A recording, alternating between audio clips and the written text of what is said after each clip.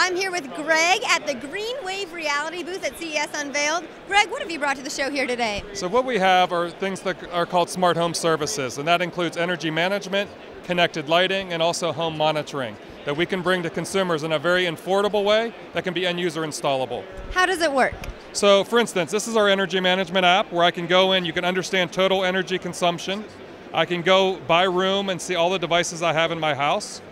And so what I can do, for instance, is I can go in and automatically start to look at my video with my IP camera. So that was one of our services is home monitoring. So I can say view video and I can start to see us um, on the screen. Now this can be tied to a motion sensor.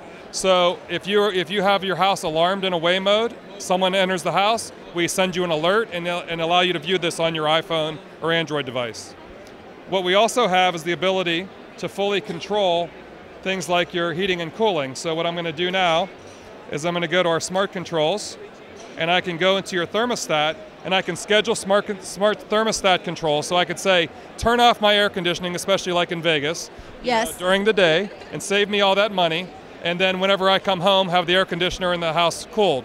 Now again, I can tie this with motion sensors so that you don't have to do anything. It knows if you're home or not home, can automatically trigger the air conditioning being on or off. How cool is that? As a Las Vegas native, something I think is definitely needed.